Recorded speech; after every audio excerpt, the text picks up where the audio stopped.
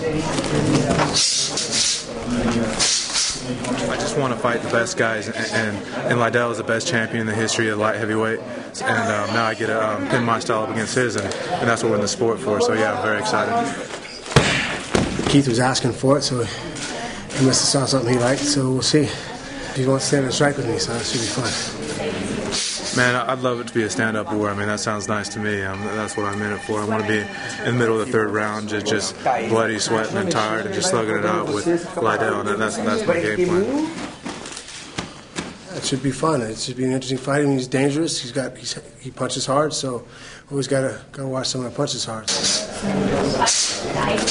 Came out healthy. Came, came not, no no complaints. I'm ready to go.